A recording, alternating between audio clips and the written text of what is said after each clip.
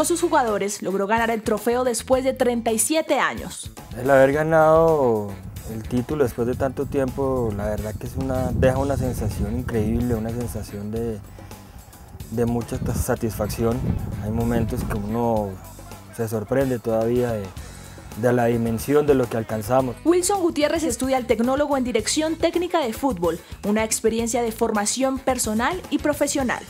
Es algo que, que, es muy práctico, donde se le enseña a uno realmente lo que uno pueda necesitar con profesores que, que tienen mucha experiencia. Wilson ha trabajado muy bien la parte humana y en eso le hemos insistido acá en el manejo del grupo. Con esta formación se busca que el egresado SENA sea de una calidad humana alta y eso significa que debe tratar muy bien al jugador, al rival y a sus compañeros.